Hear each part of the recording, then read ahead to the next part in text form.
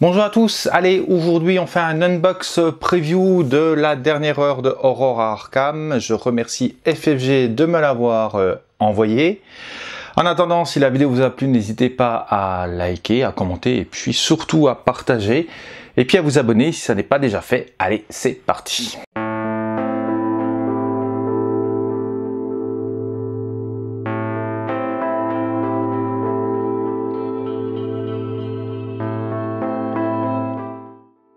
Allez, aujourd'hui on unbox euh, et on fait une courte présentation de Aurora Arkham euh, Dernière Heure. Donc c'est un jeu euh, coopératif, hein, full coop, qui a été créé par Carlo Rossi. C'est distribué par FFG Asmodée en France, 14 ans et plus, normal vu l'ambiance, de 1 à 4 joueurs et c'est pour des parties de 30 à 60 minutes ce qui est quand même euh, assez euh, court et donc assez intéressant pour les personnes qui voudraient euh, découvrir cet univers et découvrir les mécanismes bah, des Aurora Arkham en général. Allez, je vous propose qu'on aille regarder directement le contenu du jeu. Alors dans cette boîte d'Aurora Arkham, on va retrouver un plateau, ne vous inquiétez pas, on va l'ouvrir très rapidement. On va avoir également trois fiches de grand ancien, vous allez voir, c'est le grand méchant qu'il va falloir combattre.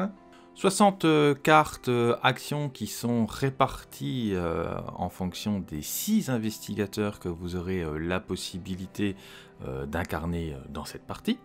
4 cartes de référence qui vous permettent ben, de connaître hein, les phases d'action, les phases du grand ancien, et également un petit descriptif, un petit mémo au niveau des icônes. Des cartes objets, des cartes de priorité, des pions d'indice, qui sont toujours les mêmes en référence à l'univers d'Aurora Arkham, des pions de portail, dont vous allez voir l'utilité euh, pendant l'explication euh, de la partie que je vous faire. Plein de pions de grosses bêtes, mais alors vraiment il y en a euh, beaucoup. il y a des grosses et des moins grosses, mais en tout cas il y a plein de bêtes dans le jeu. Des pions de sauts pour empêcher, en fait c'est les sauts magiques, hein. c'est pour empêcher certains, certains monstres de se déplacer, on y reviendra. Des petits cœurs tout mignons pour personnaliser votre vie et ben, faites tout pour en garder un maximum des pions de dommages qui vont notamment servir euh, à euh, définir euh, les bâtiments qui sont en cours de destruction. Si en fait, dans, ce jeu, il n'y a pas de figurines. Hein. On est volontairement, je pense, low cost, mais bon, moi ça ne me choque pas. En plus, ayant en fait déjà les jeux Aurora Arkham, ben, si j'en avais envie, je pourrais remplacer les steady par des figurines mais euh, franchement ils sont de très très bonne qualité et euh, ça correspond à ce qu'on a euh, déjà sur Star Wars, notamment avec la dernière extension pour Rebellion. Et puis un pion de premier joueur qui est comme toujours dans l'univers de Aurora Arkham, celui qui prend le maximum de décisions. C'est l'investigateur numéro 1. Alors là, je viens de vous faire une mise en place euh, du jeu sur la base de euh, Cthulhu, hein, qui est la carte ici. Alors en, fait, quand vous commencez euh, la partie, vous prenez un grand ancien et vous avez tout simplement la mise en place qui vous est décrite ici. Il euh, y a un mode euh, facile et normal et en fonction, ben, vous choisissez soit facile, soit normal et euh, ben, si c'est normal, c'est un petit peu plus de monstres. Et vous avez même un mode difficile qui vous permet d'avoir une mise en, place particulière. Donc on, suit les informations qui sont sur la carte et puis ensuite on la retourne parce qu'en fait ici vous avez un système aléatoire, on y reviendra, qui vous permet en fait de jouer, de jouer Cthulhu lorsque c'est sa phase d'action. Comme toujours dans les jeux d'Aurora Arkham, vous avez deux types en fait euh, de phases. Vous avez la phase d'investigation et puis ensuite la phase des monstres. On va commencer par la phase d'investigation.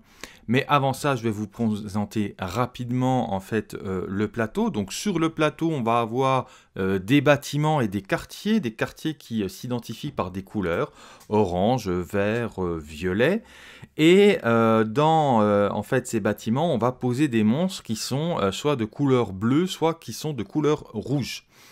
Donc déjà, ça c'est la principale information, c'est qu'en fait les monstres vont avoir la possibilité de se déplacer et en fonction de leur couleur, ils auront le droit, euh, lorsque l'ordre de déplacement leur sera indiqué, c'est-à-dire qu'à un moment on va vous dire déplacer euh, X euh, monstres de l'auditorium par exemple, et en fait, ben, les monstres bleus doivent forcément suivre un chemin bleu, donc le chemin, le chemin qui est ici. Donc admettons que ceux-là doivent se déplacer, ils seront obligés de se déplacer sur le bâtiment d'à côté.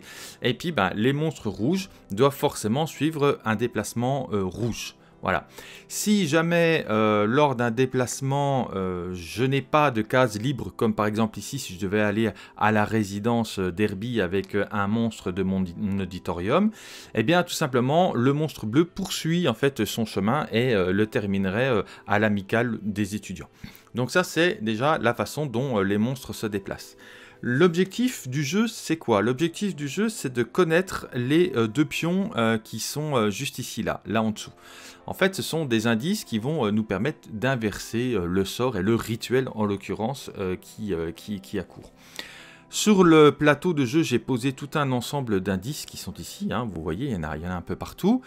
Il va falloir que j'aille les révéler. Et à chaque fois en fait que je vais révéler un nouvel indice, eh ben, je vais venir le poser comme ça ici sur ma carte. Vous l'avez compris, chaque indice est présent en fait deux fois sur le plateau. Donc ici, j'ai déjà 50% euh, de chance pour que euh, un de ces deux euh, icônes ne soit, pas, ne soit pas une lune. Si je continue ensuite mes investigations, je vais retourner cet indice et je vais de nouveau venir le poser ici et j'aurai de nouveau la certitude qu'il y a 50% de chance pour que un de ces deux pions ne soit pas celui-ci. On poursuit, peut-être que je vais avoir de la chance. Voilà, hop, j'ai la lune je la pose ici. Maintenant, j'ai 100% de chance euh, de savoir que euh, les deux indices qui sont ici ne sont pas euh, la Lune. Et l'objectif en fait du jeu, c'est qu'à un moment, on va décider qu'on a assez d'informations ici pour définir en fait quels sont les deux, pions qui sont là. Et vous allez voir, on va faire un pari avec des cartes il faut avoir en fait euh, sur les cartes il y a des symboles mais j'y reviendrai à un moment au moment où on dévoile par contre attention si je fais ce pari et que je me plante c'est à dire que les pions qui sont là bah euh, c'est pas les bons je perds la partie immédiatement. Les conditions pour perdre la partie, euh, bah, c'est de ne pas dévoiler les bons indices, hein, de ne pas avoir fait les bons paris. C'est également d'avoir épuisé cette pile, cette pile qui est ici, on y reviendra. Ou alors c'est si un de mes personnages meurt. Ici, j'ai composé euh, les cartes actions euh, de mes personnages. Ils ont chacun 5 euh, points de vie. Et puis, ils vont également avoir en main partir avec une main de 5 cartes comme, comme celle-ci qui sont en fait des cartes de priorité. Alors comment ça marche ces cartes de priorité? C'est parti. Donc en fait, comment ça se passe? Il va falloir jouer 4 cartes action. Donc là, on est euh, deux joueurs, donc euh, chaque joueur va jouer euh, deux cartes de façon alternée. Donc la première va prendre sa première carte, qui est ici, va la retourner et va lire les informations qui sont dessus. Les informations qui sont dessus, elles ont une petite barre qui les sépare. L'information du dessus, c'est une information qui est euh, plutôt positive. Ici, c'est déplacez-vous jusqu'à 3 euh, fois, attaquez ensuite euh, les monstres dans chaque lieu que vous avez traversé en infligeant 2 critiques par lieu. Ça, c'est plutôt sympa. Et puis, ensuite, une deuxième valeur qui est en dessous, qui est une valeur un petit peu plus négative. Déplacez-vous jusqu'à une fois, cette fois-ci. Hein. Enquêtez ensuite dans votre lieu pour finir activer les monstres de la zone orange, donc la zone de 11 à 15. Donc ça, voilà, ça c'est une carte que je vais jouer. Et donc en fait, ce qui va se passer, c'est que en main, là, j'ai un petit paquet de priorités. Et je vais définir si euh, je veux que cette carte soit jouée euh, rapidement ou pas. Pourquoi? Parce que en fait, je vais en aligner 4 et les deux premières cartes en ordre de priorité vont se voir euh, euh, exécuter le premier niveau et puis les deux dernières vont se voir euh, exécuter en fait le niveau du dessous. Donc en fait, je vais prendre mes cartes comme ça de priorité. Puis on voit que sur mes cartes de priorité, j'ai des petits numéros. Alors je ne dois pas le montrer hein, euh, à, mon, collègue. Euh, je vais parier, je veux absolument en fait que, euh, que la première condition soit jouée. Donc je vais mettre un niveau de priorité très bas pour que ce soit joué en premier. Et je le mets comme ça, face cachée. Du coup, euh, mon collègue va lui aussi euh, tirer une carte, il va lire en fait euh, la valeur qui est dessus, et puis ben, lui aussi va devoir regarder sur son paquet son niveau de priorité et quel est le niveau de priorité qu'il veut en fait donner à, à cette carte. Là, ici, on voit déplacez-vous jusqu'à deux fois, réparez ensuite jusqu'à deux fois votre lieu. Donc ça, c'est parce que les lieux peuvent être détruits. Et erreur de débutant, endommager une fois votre lieu, et, chaque lieu adjacent. On peut partir du principe que n'ayant rien à réparer, il va dire bon bah c'est pas grave si on commence à ce premier tour à casser des choses, donc il va mettre ici une valeur assez élevée pour euh, s'autoriser à ce que sa prochaine carte à lui soit par contre peut-être avec un niveau euh, plus, euh, plus intéressant. Il va regarder ensuite donc ses valeurs. Oula, il a que des valeurs élevées, c'est malheureux pour lui, mais pour être sûr que cette carte ne soit pas jouée par le texte principal, il va mettre 26 en se disant bah normalement 26 c'est une valeur qui est quand même assez élevée. On repasse ensuite à la demoiselle hein, qui va venir également parier une carte elle va également euh, ben, euh, euh, venir y cacher une valeur, et puis ensuite notre ami va prendre également une valeur et la masquer. Ensuite, ce qui va se passer, c'est qu'on va révéler ces valeurs de priorité. Donc là, en fait, ce qui va se passer, c'est qu'on va révéler aux yeux de tous les valeurs, notamment d'initiative. On va voir que ben, euh, la 3 est bien euh, la première qui sera jouée, hein, donc euh, la demoiselle elle, est, elle est contente. Que ensuite on jouera la 5, hein, puisque, alors en l'occurrence c'est aussi une carte de la demoiselle. Ensuite la 19, et puis on jouera celle qui a eu la priorité 26. Donc vous l'avez compris, les deux premières, on appliquera le texte euh, qui est au-dessus, et puis les deux dernières, on appliquera le texte qui est en, dessous. Et c'est comme ça, en fait, que euh, votre phase d'investigation euh, se déclenche bien entendu, hein, dans le jeu, vous avez la possibilité de vous déplacer, mais en tant qu'investigateur, vous n'êtes absolument pas conditionné par euh, la couleur des flèches. Hein, qu'elles soient bleues ou rouges, vous allez où vous voulez. Donc quand ça vous dit que vous vous déplacez trois fois, bah, vous pouvez aller du bâtiment des lettres à la cour intérieure, et puis ensuite partir à la bibliothèque, et puis finir, finir au, musée, par exemple. Et lorsque vous devez faire une investigation, eh bien tout simplement vous allez retourner euh, le pion, euh, le découvrir et puis pouvoir aller euh, l'ajouter à votre tableau de résolution des deux indices qui sont, sont ici. Lorsque vous avez fini en fait toutes ces actions, c'est au tour du monstre de jouer. Hein. lorsque les deux joueurs se sont déplacés et ont effectué les actions de leur carte, c'est ensuite au monstre de jouer. Comment on définit en fait ce que va faire le monstre? On va récupérer en fait les cartes d'indices et sur ces cartes d'indices, vous voyez, il y a des, euh, euh, logos euh, dessus. Eh bien, ces logos, on va les additionner. Donc ici, j'en ai 4, 5, 6 et 7. Donc j'en ai 7. Je prends les 7 cartes. Je vais venir les poser ici, sur ce paquet. Et je vais venir lire ici en 7 ce qui se passe. J'ai de 1 à 2, de 3 à 4, de 5 à 6 et 7 et plus. Et là, en, en l'occurrence, pour cette, j'ai émergence du relay. Chaque investigateur perd 2 points de vie. Alors ça fait un peu mal. vous vous rendrez compte que c'est quelque chose qu'il faut absolument bien gérer puisque quand vous utilisez vos cartes de priorité, il faut regarder le coût hein, euh, qu'a cette carte. J'ai parié 24 euh, ou 23, peut-être que la 23 n'avait qu'un seul euh, losange, alors qu'un seul diamant, alors que la 24 en, a, deux.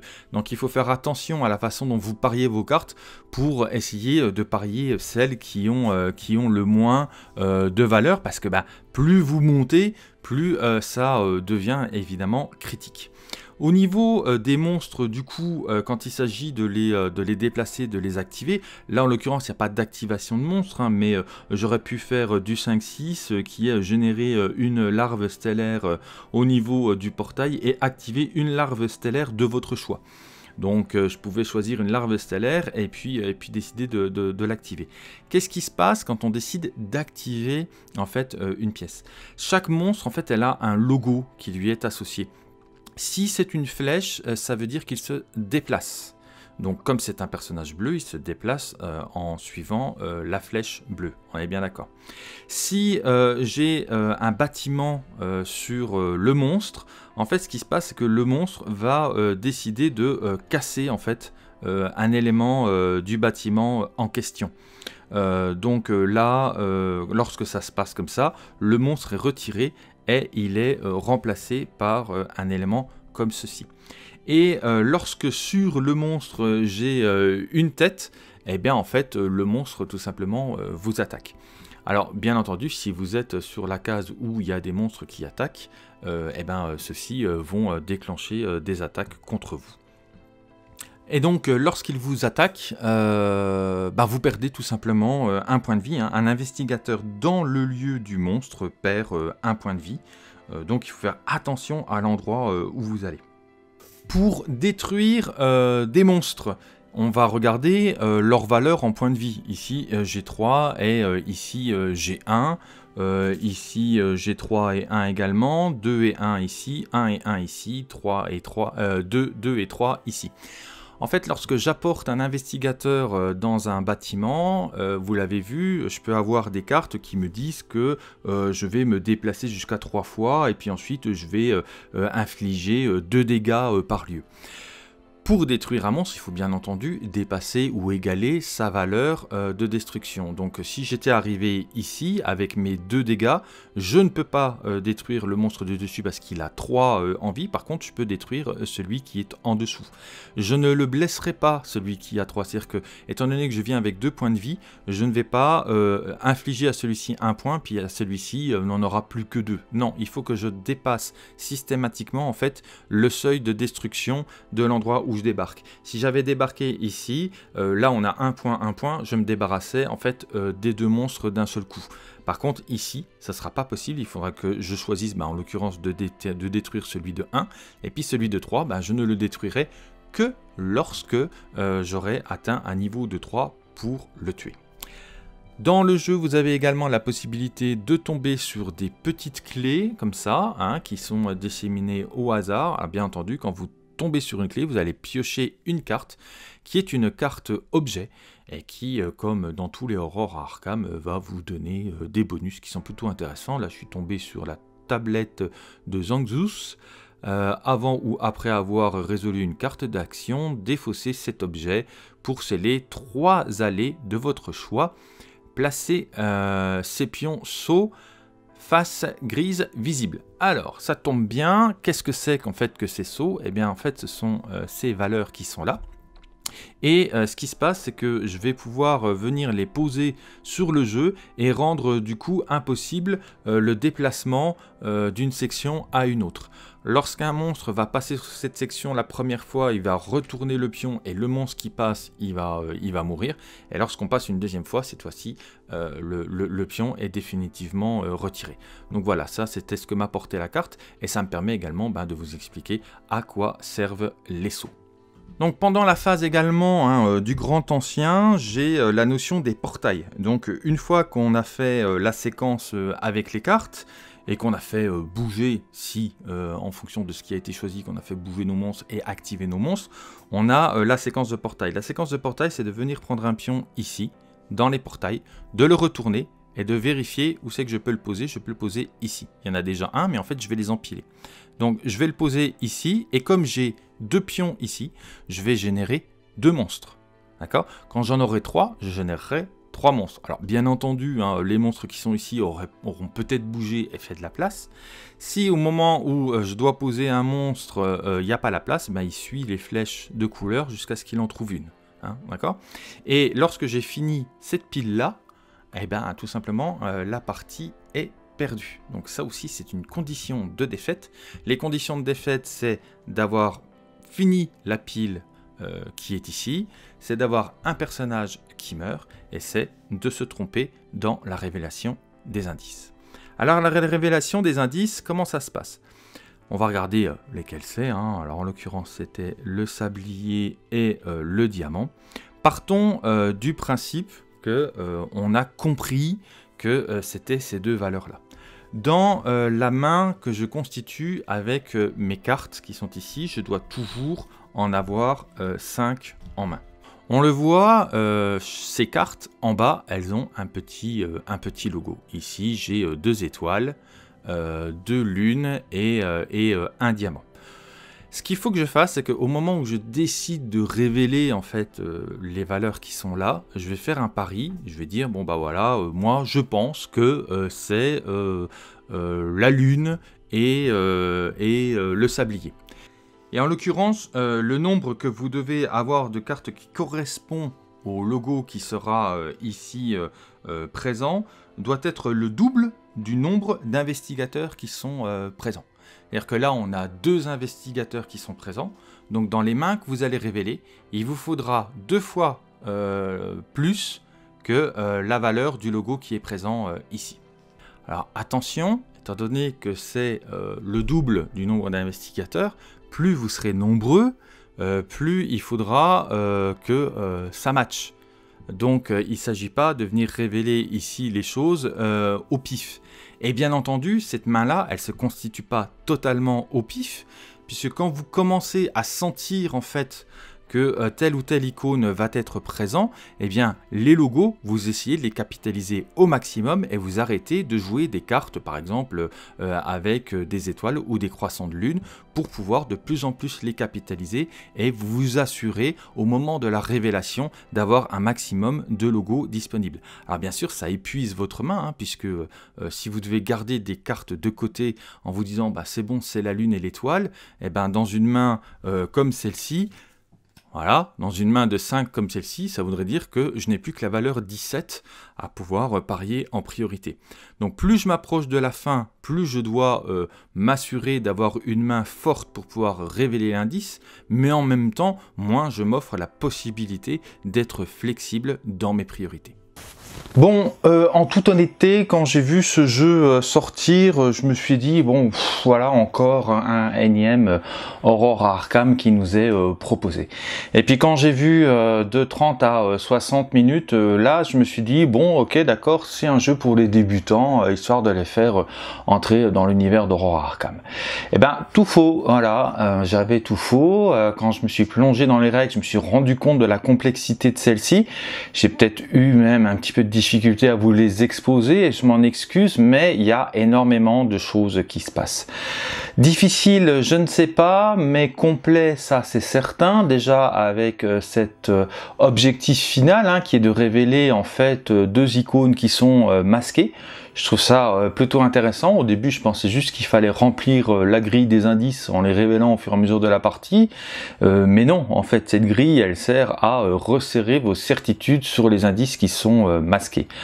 Enfin, euh, pour la partie euh, des investigateurs, ce qui est intéressant, c'est cette notion d'action, de double action, et euh, donc de priorité qu'il va falloir définir, tout en n'oubliant pas le fait qu'on n'ait pas le droit de communiquer avec les autres joueurs.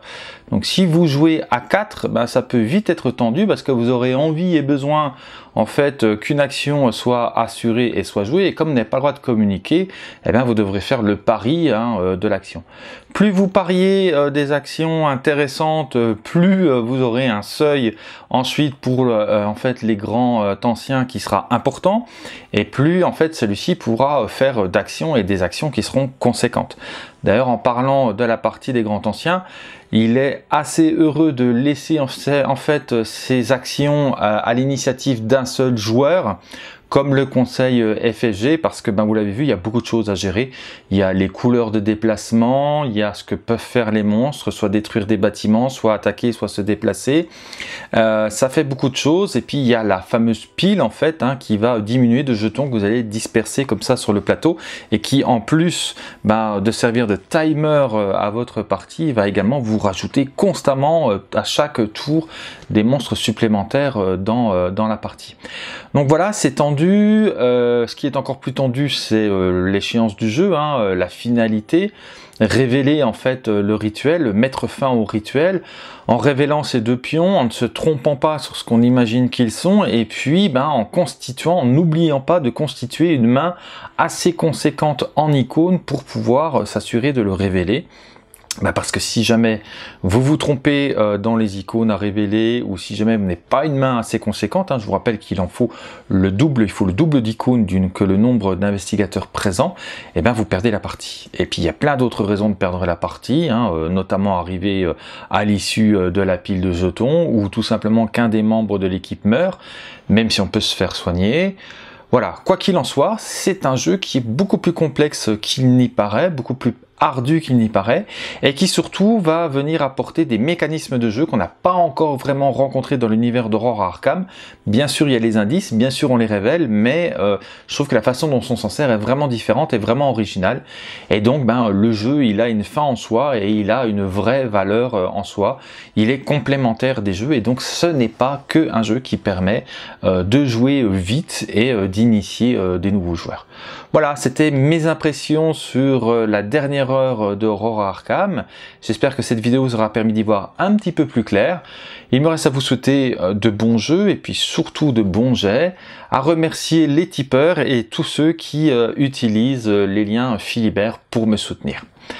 Je vous dis à très bientôt et puis attention n'oubliez pas, le temps presse. Allez, ciao